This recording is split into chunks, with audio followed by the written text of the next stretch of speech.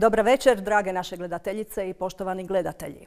Ovo je još jedna emisija One nastupaju koju udruga Žene 50 Plus radi u suradnji sa mreža televizijom. Danas ćemo razgovarati o ženama i uspjehu. Naravno, o čemu imamo pričati, jel tako? Žene su uvijek vezane uz uspjeh, ali nije to uvijek baš tako. Danas ćemo razgovarati zapravo o putu koji jedna žena prođe da dođe do cilja koji je sebi postavila. Razgovarat ćemo o tome koliko je taj put zahtjevan, ponekad i trnovit. Naše današnje gošće svojim e, životnim pričama i svojim odlukama mogu inspirirati druge žene, sve vas koje možda e, mislite da niste dovoljno dobre, koje možda mislite da vaše ideje nisu dovoljno dobre, koje nemate hrabrosti, poslušajte ih danas. Cilj naših emisija je da svim ženama e, poručimo da nema straha, da se ne treba bojati od novih životnih izazova. E, ako probaš, vidjet ćeš da li ćeš propasti, međutim ako ne probaš nećeš saznati što se moglo dogoditi. Večeras ćemo o tome razgovarati sa našim gošćama a to su doktorica Nadežda Bilić, vlasnica poliklinike Bilić Vision. E, s nama je također doktorica Višnja Nesek Adam, predstavnica klinike za anesteziologiju, reanimatologiju i intenzivno liječenje klinička bolnica Sveti Duh i pročelnica odjela OHBP, odnosno hitnog bolničkog prijema. I s nama je također gospođa Josipa Maslač-Petričević, vlasnica tvrtke Naftalina. Naftalina vidjeli smo vas sad u posljednje vrijeme nekoliko puta, više puta. Da. Je, e, Nadežda, e, da počnemo s tobom. E, ti si danas jedna uspješna poduzetnica u medicinskom biznisu. Međutim, ako se vratimo na početak, treba reći da si 20 godina radila u jednoj kliničkoj zdravstvenoj ustanovi i dala si svojvoljno otkaz. Odlučila si se da novi put. Da li te bilo strah e, tih promjena? Znamo da te suprug koji u to vrijeme također radi u jednoj velikoj e, kliničkoj bolnici podržao u tome. Međutim, sigurno nisu svi kolege, prijatelji e, govorili baš je to super ideja. Da li te bilo strah? Što se u to vrijeme uopće znalo o poduzetništvu? To je bilo prije sad koliko godina? Da, to je bilo po završetku domovinskog rata. Znači, 1.4.1996. ja sam službeno počela kao privatnik, ako to možemo tako Tada si otvorila uh, ordinaciju oftalmološku, tako, tako? oftalmološku ordinaciju. Znači, ta sama odluka da odem ono što se smatralo sigurnim poslom, da napustim kliničku bolnicu uh, Sestara Milosrdnica, gdje sam imala praktički svoj odjel koji sam vodila, da sam ovoga tamo specijalizirala, magistrirala i doktorirala, imala nekakav, ajmo ga nazvati, utrti put u karijeri i da sam odlučila da ja to ne želim, moram priznati da je izazvalo čuđenje i među kolegama i među prijateljima. Međutim, razlog mog odlaska nije bio ni relativno mala plaća u bolnici, niti česta dežurstva iza kojih smo morali ostajati raditi do sljedeći dan do tri sata. Jer nije bilo kolega, nije bilo ljudi, nije bilo kadra. Niko te nije pitao jesi ti odradio 24 sata. Nema ljudi, moraš ostati. Ambulanta čeka, čeka 50 ljudi vani, samo te šef poslo. Znači, ništa me to nije dekuražiralo, ali dekuražirala me činjenica da ja više u toj bolnici nisam vidjela svoj put, nisam vidjela svoj razvoj, nisam vidjela svoj napredak ni kao osobe ni kao liječnika. Dobro, ali što si ti u to vrijeme e, znala o poduzetništvu? Dakle, bolnica je ipak neka sigurnost. E, puno se radi i, dakle, naravno problema ima e, svakakvih, jeli svakodnevno. Nisam znala ništa. Jednom riječju. Da. Možda najbolja startna pozicija. Da, ništa nisam znala. I nisi se bojala neuspjeha? Ne. Jer to nema, ta riječ u mom karakteru ne postoji, to, moram reći. Radi toga što znala sam oftalmologiju, tada sam već mislila vrlo dobro i nisam se bojala tog dijela. Ja sam se bojala gdje se kupuju instrumenti. Pa gdje ću ja vatu kupovat? Pa ne valjda u apoteci. Pa to negdje valjda postoji nešto gdje se to kupuje.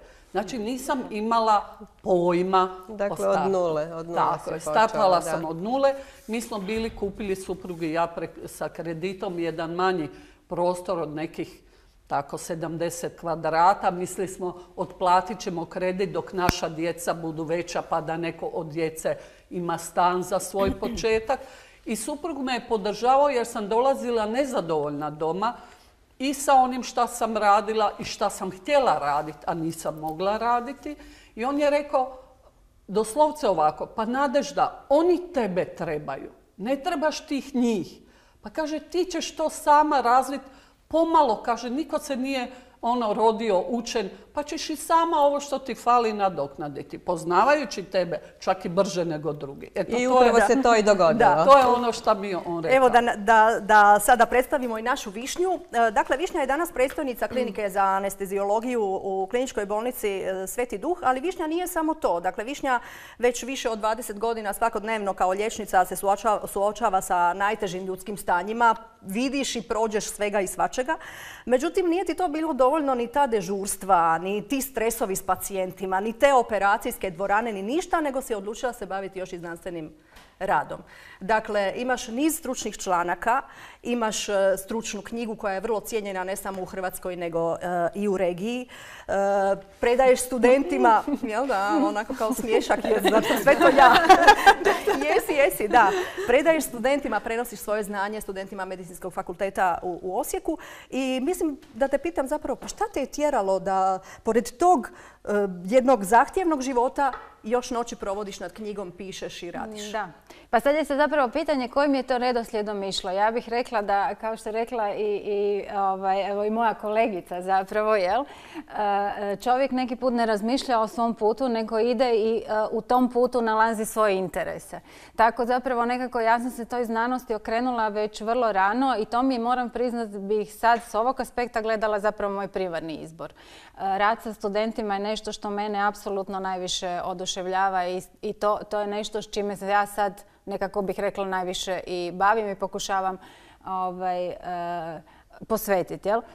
Struka je nešto što je obavezno da bi sve ovo drugo morao raditi i svakako imam sreće što e, tada nisam mogla baš birati specijalizaciju, ali je ispalo nekako da sam izabrala specijalizaciju koja po habitusu nekako najviše bih rekla odgovara meni, brza je, e, izazovna je, tako da evo tu sam se zapravo mogla razviti u nešto što mislim danas da, da mi je jako važno za, za daljnji znanstveni napredak i rad. Jel? Dakle, najljepše je družiti se s mladima, jel da? Pa to je meni, meni evo, moram reći, najljepši dio sad ovog mog posla. I e, obično kad uđete u nekakve predstavničke sobe uvijek ćete vidjeti nekakve certifikate, ovo ono. Ja zapravo imam samo jedan, a to je pozivnica od studenata na njihov kongres. Meni je to nekako naj, naj, naj, najdraže srce. Da, da, da, e, I naša Josipa, ona je već poznata, ja mislim također široj javnosti. E, evo izabrana je nedavno za inspirativnu poduzetnicu godine. E, ne znam koliko je ljudima su neke osnovne stvari iz vaše biografije ovog radnog dijela dosta poznata, pa je poznato da ste bankrotirali, da je u jednom trenutku da ste imali jedan strašno težak period u životu. E, imali ste tešku rastavu, ostali ste sa dvoje male djece. E, kako ste, se, kako ste se digli? Danas vidimo da ovoga, ste izuzetno uspješan na ovom našem teškom, teškom tržištu i uopće teškim uvjetima za poduzetnike. E, u kakvom ste stanju to bili? Kako ste se uspjeli zapravo izvući? I svega toga. I svega toga, da. A bez psihijatra.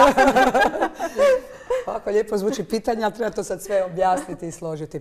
Pa dakle, e, život je prepun izazova i jako mi se svidjelo kada je Nadežda rekla to nije u mom karakteru. Nekako žene koje imaju neku snagu i osjećaju sebi imaju taj zov pobjednice. Jednostavno ne možete se prepustiti da vas jedna životna situacija e, razoruža. Vi samo jednostavno razmišljate o tome i uvijek sam samo pozitivno razmišljala. Dakle, nijedna situacija me nije obeshrabrila na način da kažem ja to ne mogu. Ništa ne, ne mogu, nego samo pitanje kako to mogu. Prema tome, u tom nekom dijelu, ja sam 35 godina ovaj, na tržištu, Dakle, to je jedna tekstilna branša koja je nisko, nisko profitabilna grana gdje je stvarno teško raditi jer je to sve pozatvarano. Ja sam tražila tržišne niše kako uspjeti, kako opstati, kako ponuditi tržištu nešto novo i mislim da je vrijeme i sve ove godine pokazalo da se to doista i uspjelo. Naftalina je postala respektabilna firma, nudi sve ono što je vezano uz tržište, pa e, sam pokušala, šivam uniforme, radim jako puno za hotele, restorane, kafiće, uređujemo interijere, dakle e, e, imamo svoj pogon za tapiciranje, za šivanje zavjesa i uvjela sam kao dodatnu vrijednost i zavjesa. Dobro, to ste uspjeli napraviti, međutim ovo što je Mladenka rekla, ovoga, mnogima bi trebao psihijatar za tu situaciju i pitanje je ovoga, da bi prevladao pa tu, depresiju. Meni, je došlo, da, da, meni je došlo, meni je to nekako došlo u paketu. Dakle, kad vam ide dobro, ide vam dobro. Kad vidimo loše, ide vam u paketu loše. Dakle, meni je došlo do momentu rastava, došao mi je ovaj, bankrot i majka doživjela moždani udar. Dvoje male djece i vi jednostavno skupite ostatke svog života i kažete, gledajte, gdje sam sad, koji su mi ciljevi i krenete dalje. slušajte svoju intuiciju, naprijed, slušajte svoju intuiciju, skupite snagu, ne pristajte na nikakve poraze niti na kompromise, e, morate biti realni u osluškivanju toga šta možete. Josipa, jeste se vi rodili takvi? Ili ste takvi se kroz život utrenirali da budete takvi? Jer puno ljudi kad se nađe u takvim teškim, mislim, tri takve stvari, jedna gora od druge, čovjek se pita, Bože, što je četvrto, idem se sakriti u mišju rupu da me nema. Jel? A vi se iz toga dižete. Ne, ne, ne, baš se dižete. Ali upravo ja kad razmišljam o tom periodu, ne, znam ni sama kako to sve skupa prošlo, e, ja sam zahvalna svakoj situaciji, svakoj osobi koja me dovela u to stanje, jer jednostavno, vjerojatno ni sama ne bi znala šta sam sve iz sebe izvukla da bi uspjela u onome šta jesam.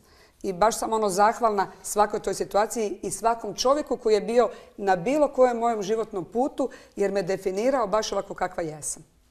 Nadežda i Višnja, vas zapravo želim pitati, mislim to se pitanje naravno odnosi i na Josipu. Zapravo kad žena krene nekim putem i postavi nekakav cilj, Pogotovo u našem društvu koje je dosta patrijarhalno, to podrazumijeva da treba stvarno biti vrlo umješna i naći tu jednu ravnotežu između obiteljskih obaveza, profesionalnih obaveza, neke svoje ambicije, nečega, što želiš. Kako ste vi to uspjele? Evo, Nadežda, pa, Samo još malu jednu digresiju da napravim, da se nadovežem. Radi toga što kad sam startala, samo da kažem, Našla sam se isto u situaciji da čekam da mi se javi neki pacijent i da cijeli dan sjedim 10 sati u ordinaciji, imam dva ili tri pacijenta. I počne me hvatati očaj. Imala sam na stolu kao nekakav nekakvu recimo podlogu i ispod nje su bili motivacijski papirići. I to je fantastično nesto. To bi svima preporučila ko, je, ko starta, ko je u početku. Gdje je ovako pisalo Prvo, ne priznajem poraz. Drugi papirić je bio, ako padneš, ustaćeš se i ideš dalje. Treći papirić, svako stanje privremeno. Četvrti papirić, nisu važne činjenice, nego je važno stanje uma. I tako dalje, da vas ne zamaram. To je ono što me dizalo. A sada da vam kažem kako je bilo sa obitelji. Ako kažem da sam prvih deset godina radila dvokratno, od 8 do 12, sa sati po pauze i od pola dva do 8 i da sam prvih 7-8 godina imala pet ili šest dana godišnjeg odmora, mislim da sam sve rekla, ja koja sam došla razmažena sa klinike gdje sam imala mjesec dana godišnjeg, ako ti je nešto prehladeno ideš na bolovanje, e, gdje si ti imao mnoge druge beneficije, ali sad si se našao u tome sa jednom rečenicom ja hoću i moram uspjeti. Meni nije bio e, neki apsolutni ja to moram uspjeti jer moj muž je bio na klinici, sveučilišni profesor, imao je dobru plaću i rekao je ako ne uspješ, odmaraj se, živjet ćemo od moje plaće. Međutim, međutim, ja sam rekla sljedeće, želimo uspjeti prvo radi sebe, drugo radi mojih roditelja koji gledaju mene i čudom se čude šta sam napustila javno zdravstvo i otišla privatno, a treće radi kolega koje sam ostavila na klinici. I, i tu sam rekla, nema neuspjeha. I to se pokazalo da smo svaku godinu rasli. Bilić Vision u 21 godinu ni jedan puta nije imao pad prema dolje, samo smo imali uspod. Drago mi je da nismo imali ovo pa pali dolje, nego smo svaki put lagali. To je kad žena s motivacijskim papirićima uzme stvari u svoje ruke. Višnja, ti si isto zapravo i, e, dakle cijelo vrijeme i liječničke svoje e, karijere, svoga posla i znanstvene karijere, zapravo majka dviju sad već odraslih cura, ali bile su male. Kako si sve to uspjevala kombinirati? Dakle, ja mislim da puno takvih pitanja žene dobivaju u bilo kom segmentu da su uspješne i uvijek se govori o toj organizaciji vremena, da je to ključno i to je svakako ključno. Ali ja bih rekla da to je sve jako, jako teško ako nemaš neku pomoć sa strane. Da li je to obitelj, da li je to, e, ne znam, bilo kakva druga pomoć. Ja sam imala sreću, evo ja nisam imala nikakve ovakve e, nezgodne životne situacije. Ja stvarno imam stabilnu obitelj muža koji me ovaj, baš, podržava. baš podržava cijelim putem i mi smo zapravo zajednički donijeli odluku o mom odlasku na kliniku. Ja sam krenula kao i svi mladi liječnici u domu zdravlja, radila sam do 1, 2 i to je sad iz ove perspektive jako lijepo. Jel? Završiš prije, prije nekakvog e, muževljevog posla, stigneš doma, napraviš ručak i tako dalje. Zapravo nezamislivo u današnjem kontekstu. Sad mi je to nezamislivo i tad sam zapravo bila iz tog razloga jako nesretna jer su, radila sam u domu zdravlja Maksimir gdje su svi bili krasni, ali svi su išli na rebro, svi su dobivali specijalizacije. Ja sam radila u staračkom domu, tako to mi nije bio nekakav tada veliki izazov silno sam htjela specijalizaciju. Međutim, ne bih to mogla da, da nisam imala e, pomoć iz kuće i zapravo ono što moram reći imala sam u tom cijelom periodu dvije krasne tete koje su prvih 15 godina čuvali moju djecu, a sada čuvaju mene. I ove, nisam se morala baviti kućanskim poslovima. Mislim da je to bi jako teško išlo. Jel? Tako da jedan, jedan dio moramo priznati da ne možeš baš uvijek sve sam. da, da, bez dobre logistike je teško. Dobro, da. Josipa, vi niste imali tu podršku ili jeste? da, kad iz današnje perspektive gledate unatrag. Ne, ne, i ovo je jako lijepo, ovo je divna ovaj, priča kad imate takvu podršku. Ja nisam imala startu, ali sam kasnije kako sam počela privređivati, onda sam napravila dobru logistiku da to ipak bude sve posloženo. I iz ove perspektive, što ste vi rekli, i moj posao ne, ne možete se dozvoliti ni luksus, ni biti odsutan, niti bolesti, niti ovoga, jer vi morate biti sve prisutan. A s druge strane, ono što recimo s odmako vremena, već sam 35 godina i djeca su mi već, dakle, zreli ljudi, imaju svoje obitelji i sve, mogu reći da kad gledam unazad, možda bi jedino malo e, sebi onako rekla, da mi je samo bilo malo vremena da uživam u njihovom odrastanju. Eto, da nisam projurila taj dio sve onako negdje u letu. Evo, to jedino onako bi vrlo rado. Ali to je luksus. Ali dobro, zato su sada unuci. Uh, to sad da, obo, to je obožavanje. Zato baka uživa u odrastanju svojih unuka, a nema one odgovornosti kao sad ne, moraš razmazila sam ih do beskraja. do beskraja. Zapravo tu je dobro da imate malo logistike. Jel? Meni su tete puno tu pomogle. Koje su upravo priredile tako da onaj mali dio kad dođeš doma imaš zapravo vremena za djecu. Da nisi u stresu, da, se baš posjetiš baš Ja bih se nadovezala na Josipu. ista misao je meni išla sa mojom djecom da su tako brzo odrasli, a da ih ja nisam stigla vidjeti u tom odrastanju. Evo baš to. I jer sam upravo u tom osjetljivom periodu njihovog života, pubertet pa dalje, punim snagama se davala u, da, ali ja, mislim da je to zapravo situacija svih žena koje imaju karijeru i žele karijeru. A ja mislim da je to, to djeci zapravo na neki način i dobro jer smo im putokaz. Da, da mislim nije moguće naprosto sve. Ne? Da. Moraš biti jako dobro organiziran. jako dobro organiziran, moraš e, imati to-do liste. Ja sam sebi uvijek naveče ostavila 15 minuta vremena šta me čeka sutra. Šta Opet me... šalabahterići. Stalno neki šalabahteri i onda križanja i tako dalje. Djeca su, nisu bila zakinuta, u blizini su deda i baka, oni su uskočili kad je trebalo. Ali većinom sam to ja, ispričat ću jedan događaj koji je relativno mene pogađao kao majku. Recimo ja sam bila na dežurstvo, muž je sina spremao kao malog dječaka godinu i pol, dvije, tri u krevet, okupo ga i onda su oni mene nazvali na dežurstvo da me pitaju šta radim i da ja čujem što oni rade. I onda je moj sin meni rekao, mama, a, zašto ti moraš biti doktorica? A ja sam rekla, pa sine, nešto moram raditi. A šta bi ti bio da, htio da ja budem?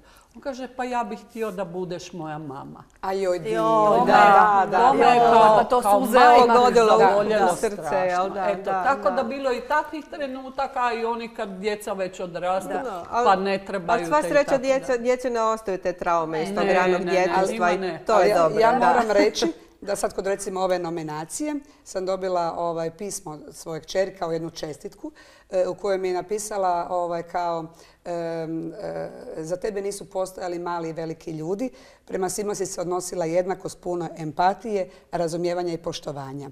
E, put je bio težak, ali došla si do cilja. ne postoji ni jedna ruža bez trnja i zato majko čestitam ti i, ponos, i hvala ti što nas sve činiš ponosnima. Jo, to je divno. Vaša da, Josipa spisateljica. da, ali znate šta, ja sam rekla, ako je sve ovo vrijedilo za jedno takvo priznanje, ja mislim da sam ga dobila. Djeca su ponosna na svoje majke.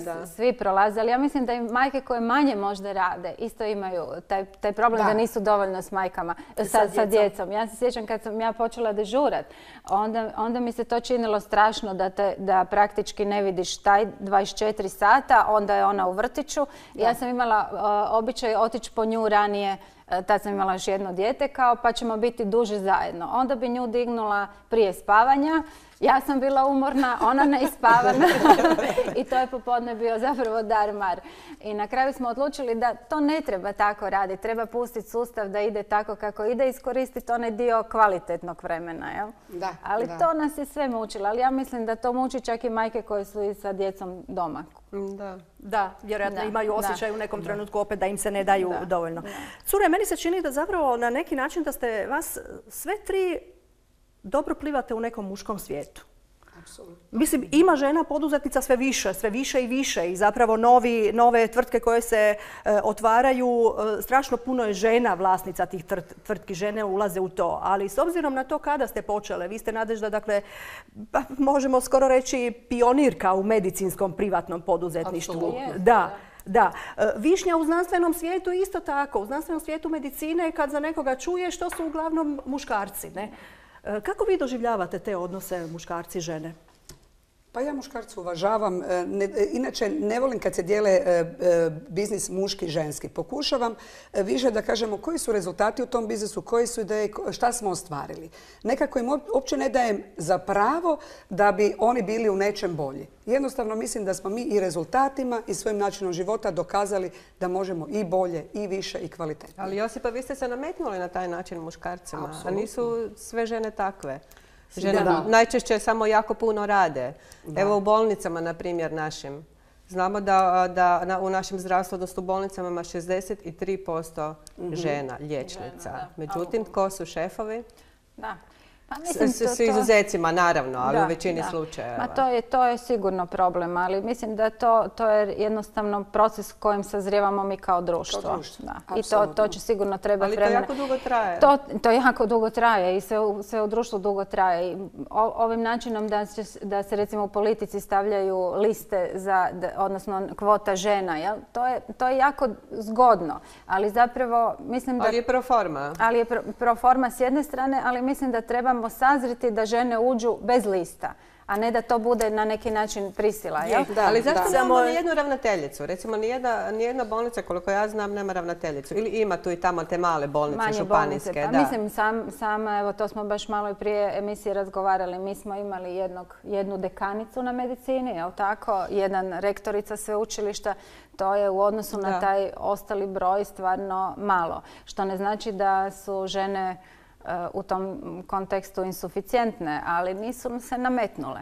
I da, to, ja, ja bih samo htjela dodati. Potpuno se slažem s Josipom. Nema tu odvajanja muško-žensko. Imate uspješne i neuspješne. Oni su skloni muškarci da se nametnu po svom nekakvom habitusu i jači su i fizički i tako dalje. Međutim, mi smo žene hrabre, mi smo pametne, mi smo sposobne. Mi jednostavno smo multifunkcionalne i nas se ne može pokositi. Ne. Znači, žene samo treba osvijestiti koliko su sposobne, koliko su pametne. Ma koliko... žene su osviještene, ali treba društvo osvijestiti. Je, ali se žena treba i usuditi za e, Slažem se da društvo treba napredovati. Ovo je jako dobar primjer. To je sramota da postoje kvote za žene. Zašto ne postoje kvote za muškarce? Dobro pitanje. Zato što su se oni za sebe pobrinuli. Cure, prvi dio emisije je već istekao. Vidite kako to vrijeme brzo, brzo curi. E, drage naše gledateljice, poštovani gledatelji, odmorite se uz kratak blok reklama. Vidimo se za nekoliko minuta.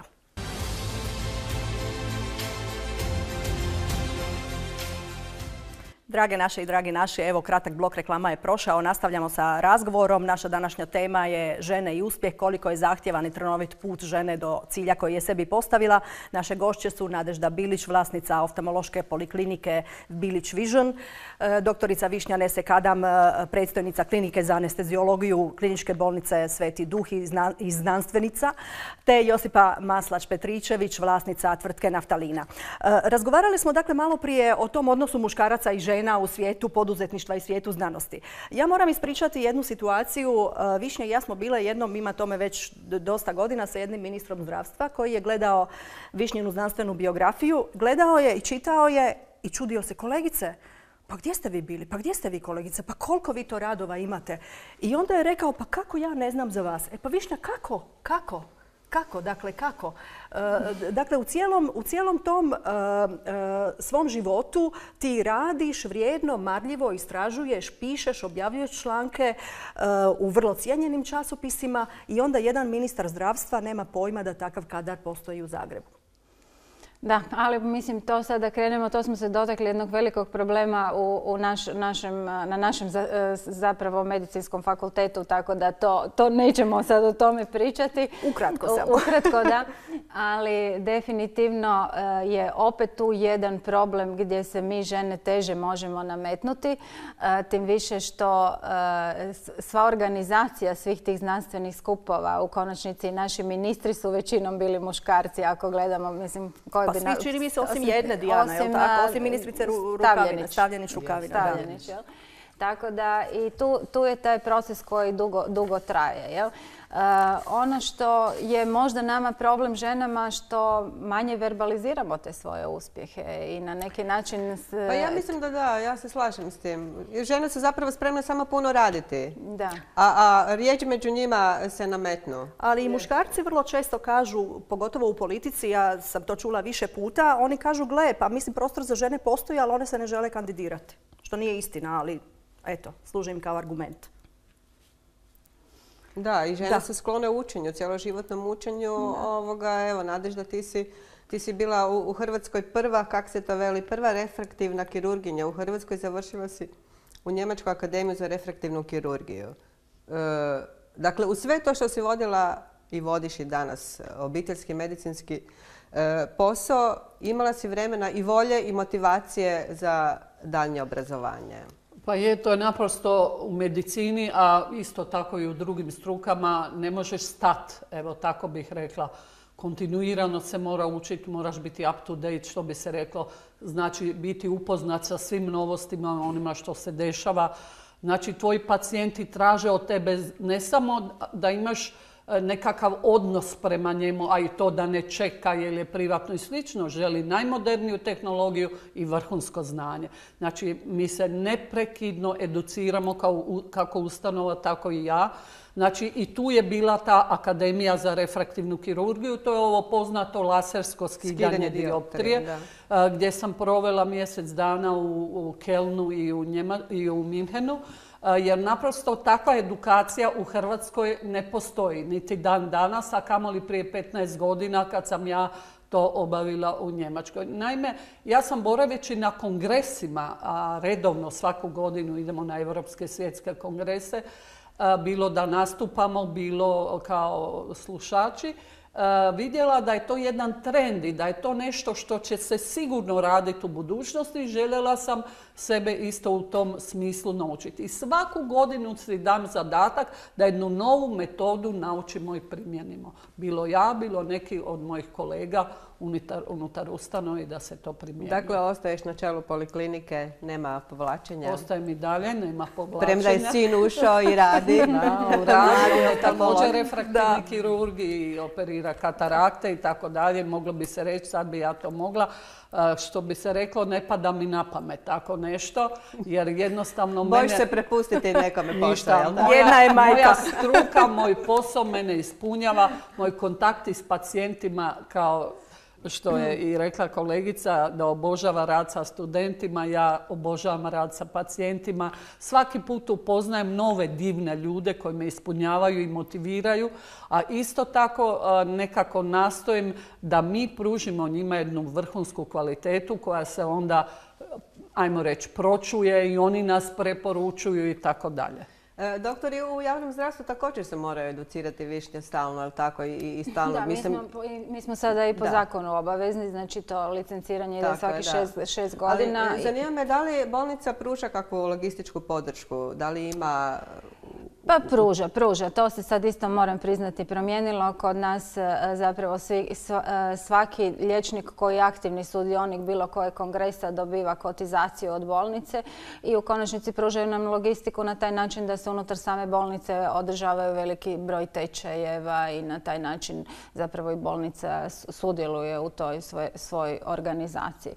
Tako da mi se svi, svi educiramo stalno i to je meni recimo kao predstavnici jedan jako značajan zadatak da, da svi djelatnici idu redovito. Posebno ja se vraćam na svoje studente i svoje specijalizante na koje sam baš jako ponosna da to idu redovito i nastojim nekako da oni čak idu više e, nego što to idem ja. Uglavnom oni prezentiraju radove, ja uvijek sjedim u auditoriju ako treba uskočiti. Znači ipak se ne moramo bojati budućnosti. Pa što se tiče anestezije to mogu ovaj čas garantirati. da, Josipa, e, danas je vaša naftalina jedna od vodećih e, tvrtki u području proizvodnje, dakle tekstilnih proizvoda za turizam, ugostiteljstvo, različite druge grane od ne znam odjeće koja je potrebna za zaštitu na radu i tako dalje. Imate 75 zaposlenih. Uh, pročitala sam jednom da ste, da ste rekli da zapravo uh, nekako najveći, najveći spomenik dižete svojim ljudima. Jer se ljudima, bez ljudi se naravno ne može. Ne. E, ovdje je jako puno individualnog rada, ovdje je struka iznad svega. A moj rad je dobrim dijelom zasnovan na dobrom timu mojih ljudi. Dakle, ja moram imati dobre dizajnere, ja moram e, biti, e, e, naftalina mora biti odlična u dizajnu da privučete kupca. Morate biti brzi u isporici. Moji e, korisnici, kao što vama e, vaši pacijenti, vama studenti, tako ja uživam u radu sa svojim klijentima jer vi se na njih vežete dugogodišnje. Kad oni u vama prepoznaju partnera, oni vam se vraćaju i vi ostvarujete jednu dugogodišnju suradnju. to, su, to su zapravo jako veliki kupci. To su ozbiljni, ozbiljne tvrtke, ozbiljni hoteli. Da. Ozbiljni hoteli i ozbiljni klijenti. Mm. Dakle, samo sam htjela reći da je, recimo, jedino što je bilo dobro da sam izabrala dobar tim ljudi koji tijele tu strast prema poslu zajedno sa mnom i koji te sve projekte određuju na najbolji mogući način. Jer vi morate, e, ne znam, imamo partnerski odnos sa jakim kućama kao što su Coca-Cola, Zagrebačka pivova, Karlovačka, e, Jadranski luksuzni hoteli, e, ovaj, Jadranka iz Lošinja. To su sve kuće koje su stvarno onako respektabilne i koji očekuju isto takvu uslugu s ove strane. I vi se morate stalno dokazivati i stalno ulagati u te ljude. Dakle, kao što vi morate odlaziti na seminare, moji ljudi moraju odlaziti na stručne sajmove, HM Tekstil u Frankfurtu, moram ih educirati recimo u interijerima, u zavjesama, u tapiciranju i to su sve ljudi, više nije sad to da vi imate samo nisko profitabilne ljude krojačice. Vi morate imati ljude sa završenim fakultetima koji se znaju, koji moraju govoriti par jezika, koji moraju predstavljati firmu na najbolji mogući način jer jednostavno to vas čini drugačijim od drugih. A to je tržište. Jer tržište valorizira. Jeste dobri, ono niste dobri. Tako I, I to ili ste uvijek in ili ispadate iz igre. A što se tiče znanja, znanje je isto promjenjiva kategorija. Ako ne ulažete, više ne možete konkurirati na tržištu, ne znate rješavati probleme na pravi način, ne nudite nešto novo, a od vas se očekuje stalno novo i stalno morate biti prvi među jednakima i onda to tržište prepozna, valorizira i vraća vam Je li to naporno? Pa je, ali, ali mene to veseli. Mene to veseli. Ja kad se podignem ujutro, kad kaže neko budan sanjam. Ja noću sanjam, vrtim, razmišljam. Kad se dignem pa ću i to, i ovo, i još to. I onaj mali kritičar u meni čuči, mogla si, mogla još i nešto. Ali ovaj, postoji neki anđel koji kaže, ma dobra si, pa daj nemoj toliko stalno se kritizirati. Jer mi smo u stanju misliti da nismo dovoljno dobre, da uvijek možemo više i bolje i da smo mogli to drugačije. Da, to, to mi je zapravo odličan šlagvort e, za to pitanje ženskog, ženskog samopouzdanja. Mi žene smo vrlo često u situaciji kad znaš da si dobra, svejedno preispituješ sama sebe. E, ja srećem e, puno muškaraca koji taj problem nemaju. Dobri su i znaju da su dobri i ne dovode to sami sebe u pitanje. Mi smo tu sklone malo rasklimati to se same vraćamo sebe. na ono što je Dijana rekla, da smo mi primarno napravljene na taj način da puno radimo, a manje, manje verbaliziramo i te naše uspjehe i se. Ali ja mislim da, da, će se, to- da se vrijeme polako mijenja. Ja mislim da smo zapravo i sve tu nas tri a, i u konačnici vas dvije da. dokaz da, da žene imaju svoju poziciju u društvu, ali je proces spor. To, to moramo biti svjesni. ja no. vjerujem u nove generacije. Evo, u vašu kćer, vašu kćer, Dijaninog sina, ali dobro, on je muško. Dobro. Ne, Ali se da nove generacije žena, zapravo nove generacije žena dolaze u život sa puno manje tereta tog mentalnog nekog nasljeđa nego što smo ga mi imale. Šta vi To- mislite, to je- Nadežda? To je očekivano. Pa mislim da mlade generacije malo drugačije razmišljaju nego smo. Mi smo bili opterećeni jednim drugim odgojem, drugim sistemom. Mi smo, barem ja sam počela u onom socijalizmu pa se onda promijenilo u kapitalizam. Naglo smo se morali mijenjati. Moja djeca su imala eto tu sreću da žive u jednom mirnom, stabilnom društvu i da u obitelji koja o njima brine i pružila im je školovanje. I ne samo to, nego oni stalno su negdje vani, putuju, taj internet pruža mnogih, mnoge mogućnosti gdje se dodatno educiraju. I ja bih rekla da malo ovisi o osobnosti, znači neko ko je introvertiran, bit će skroman, a neće toliko u tome napredovati, ali neko će biti, znate, taj koji vuče, kojemu nije teško, koji, ja se recimo isto tako budim kao Josipa što se budi pa ju kopka, jel šta još može. Ja se uvijek budim s rečenicom danas će biti još jedan fantastičan dan. Apsolutno. Jedan Ne, o- o- fantastičan dan. Nadežda, Ali vi kako- ste žena, vi ste meni potpuno otkriće.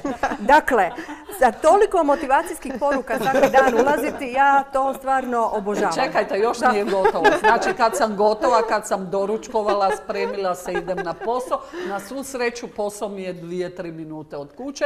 Ima jedno brdo preko kojeg silazim dolje do svoje poliklinike. Ni sto b- brdo idem dolje i pjevam pjesmu u sebi What a beautiful day. Pa da. Ali, ja bih samo nešto dodala. Na sve to divno biti pozitivno razmišljati. Ali ono što nam svima hvali, to je jedna zahvalnost. E, ja tu ovako ovom gornje knjigovođi kažem hvala ti na ovom divnom danu. Evo ja, ja, ja tako recimo još sebi Da, dodam. svako ima svoj Da, Da, ja kažem, recimo, ja još to dodam, kažem, e, na zdravlju, na dobroj djeci. I jedna zahvalnost i poniznost prema tom čudesnom životu koji nam daje amplitude. ali je lijepo biti dakle, ja imam jedan drugi stav tu. Ne toliko da razmišljam o tome da sam zahvalna. Sigurno čovjek se sjeti pa kaže, e, zahvalan sam da sam zdrav i da je moja obitelj dobra. Nego više imam jedan stav šta me sve još neotkriveno i nedoživljeno čeka taj dan. Kog ću ja sve upoznati, kako ću slučaj uspjeti riješiti ko neko drugi nije ili kako ja nekad kaže, evo šest mjeseci je išao od ovog do onog i dođe tu i mi ga riješimo. Pa nema većeg zadovoljstva od toga. Da. To Nadežda, znači, ti, ti, ti možeš biti onaj life coach, kako se Da, kaže. da, da, da. Jer pitanje je zapravo kako postići to. To nije, da li to ovisi samo o strukturi Ono svake kako si se osobe? rodila, je je Da, jer to, to doista mora nije se lako. život, mora se voljeti ljude i mo- mora se sa strašću voljeti posao koji radiš. Strast. I onda je to puno nešto... lakše. Ja to govorim a, uvijek na poslu. Jako je lagano biti zapravo opozicija. Ne valja ovo, ne valja ono. Da. Treba, Deprimiran, da, da. treba zapravo, e, puno je lakše imati neku dobru ideju, doći veseo na posao, e, to odraditi s veseljem i širiti to zadovoljstvo. I ja zapravo teško mogu razumjeti ljude koji već od jutra traže što ne valja. Strašno. A strašno Da. ih je puno. A strašno ih je Da. puno i jako imaju Da. negativnu energiju koju sisa cijeli kolektiv. I tu, tu je zapravo, tu šefovi moraju biti Da. To su motivacijski. energetski vampiri. Ja recimo, Pa kada je, dođem je. na posao i zna biti situacija da se zagužva. Pacijent čeka dulje nego što bi trebao, nekakva situacija je ispala koja se mora izrješavati i onda imam jednu ili dvoje ljudi koji onako potpuno uznemireni to šta ćemo sada i nastalo je ovo ili ono. Pa to je fantastično. to je moja rečenica. Pa to je fenomenalno. Gledaj koliko iz toga možemo naučiti. Ajmo mi to riješiti. Nemamo mi na problemu, ajmo mi na rješenje. Da, tako I moji to obožavaju.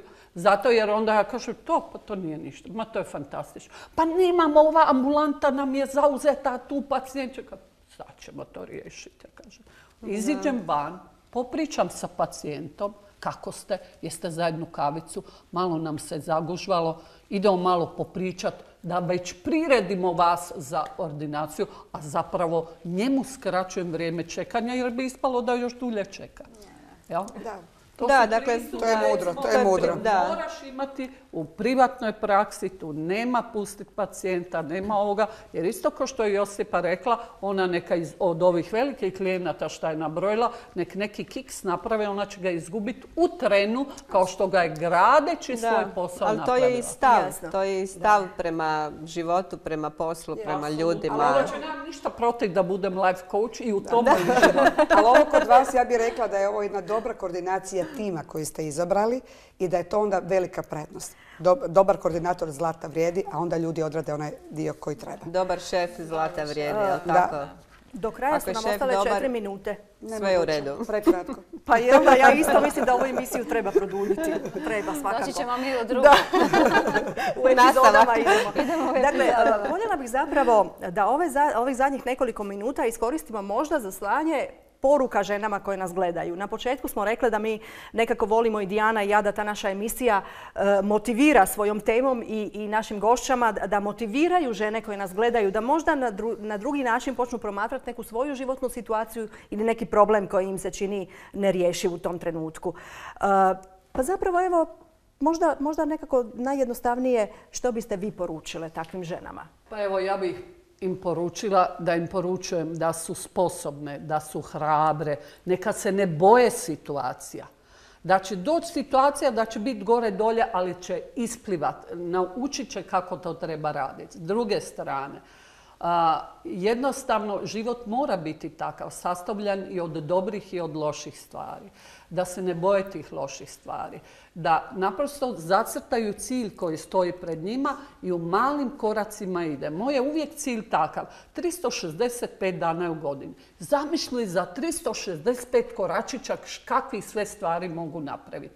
I to je ono što me motivira i vodi. I to bi im poručila da budu hrabre, da se ne boje, da mogu biti uspješne, da ne ovise o muškarcima, da ne ovise o njima. Mene je jako deprimirala izjava one gospođe koju je onaj župan tukao pa je rekla šutite i povucite se. Suprotno, nemojte šutiti, nemojte se se povući, budite hrabre, stanite iza svog stava i druge žene, a i drugi benevolentni muškarci će stati uz vas. Apsolutno. Višnja, tvoja poruka možda nemojte se Pa zadovoljavati je to- malim. toliko, da, toliko svašta je lijepo ispričala, nemam tu puno šta dodati, ali ja mislim da je taj pozitivni stav e, zapravo nešto što bi trebalo sve motivirati i da to onda nemaš granica. Da, i da zapravo treba stalno ići naprijed. Evo, to sam zaboravila reći, pa samo još prije kraja da spomenem. Ti sad u ovom trenutku, recimo, ideš na uh, edukaciju za sudsku vještakinju iz anesteziologije. Dakle, ne treba ti to. Liječnica si, profesorica si, ne treba ti još i to. Ali radiš zato što Pa osjećaš dobro, to, potrebu. to stvarno, evo, nešto što stvarno volim je zapravo to cjeloživotno učenje koje je to smislio. Dobro je smislio, da, da, to smo zaključili da bez toga ništa, da. I to je nešto što čovjeka stvarno ispunjava, da uvijek nađeš neku, neku nišu. Ja- I mi ostajemo, baš sad kad si to spomenula, tamo skoro do pola deset jučer, to je sasvim neki novi aspekt. Ja baš uživam u tome. I etike, i bioetike, i neš- nešto baš, Nešto baš novo, novo. da. Da, Nešto da. Da. Evo, ja bi isto se rekla ženama, okrenite se sebi, nađite svoj unutarnji mir, upalite svjetlo u sebi, krenite hrabro, napravite iskorak. Već kad ste iskoračili, već ste napravili puno za sebe. I doći će rezultati. I cilj će doći. Budite uporne, strasno volite svoj posao, volite taj život, volite sebe i bit ćete dobri svima oko sebe. Ali vrlo često se dogodi u današnjem e, vremenu, znači e, situacija u našem društvu nije baš pozitivna. Ne, ljudi doživljavaju svaki dan teške, teške probleme, ostaju žene, je li, ostaju bez posla, ne mogu ga više naći. Te, teško je zapravo i povjerovati nekome koji je recimo uspješan, kao i vas tri na koncu konca, i onda teško je možda i povjerovati u to kad vi kažete nemojte se bojati. Ali vi ste sve prošle neke svoje sigurno tjeskobe i Bilo je strahove. i- strahova i svega, apsolutno. Da, danas Da. smo na točki uspjeha. ovoga, ja ja- to nije- svega, Ja samo da. moram reći da, recimo da. da je jako lijepo ako čovjek unutar sebe može uspostaviti jednu ravnotežu da s jednakim mirom doživljava taj plus i minus. da je to jedan balans unutar nas samih, lakše je se realizirati ako nađete tu snagu unutar sebe. Morate uključiti svjetlo u sebi. Poanta je u našim glavima, u našem srcu. Stabilnost je zapravo e, osnova da to sve skupa ide naprijed. To bez toga teško da, da možeš ako emocionalno doživljavaš preemocionalno i jednu i drugu stranu. A da smo imali krize svi, iako ono kad gledaš na dugo, dugo vrijeme je to sve išlo nekakvom logikom i slijedom, ali to je bilo uspona i padova. To je iluzorno reći da toga nije bilo. Jel? Ja sam samo htjela poručiti e, ženama koje ostanu bez posla i koje se nađu na ulici. Neka se okrenu poduzetništvu. I neka, neka zamisle se nad sobom u čemu su dobre. Dakle, ideja da, neka. Što su one izvrsne u nečemu, to će se sigurno tražiti. Ako ne mogu same, neka se udruže u grupe, Postoje sad i ta podrška pri ministarstvima za malo poduzetništvo i mislim da im je to najbolja odluka. Hvala vam lijepa, gotove smo Dijana. Evo nama je samo preostalo još odjaviti ovu emisiju. E, hvala našim gošćima prije svega. Bili ste stvarno divne, inspirativne, uspješne i sve najljepše što se može o vama reći. E, našim gledateljicama zahvaljujemo što su bili s nama. Nadamo se da smo i vama bili zanimljivi. I eto, preostaje nam upaliti svjetlo u sebi i ići naprijed. Drage naše i dragi naši gledatelji, e, hvala vam lijepa na pozornosti. Naše gošće su podijelile s vama puno, puno dobrih poruka. Vi zapamtite samo jednu, ne bojte se, idite naprijed. Ovu emisiju možete gledati i na našem portalu www.onenastupaju.hr i u videoteci mreže televizije. Hvala vam lijepa i doviđenja.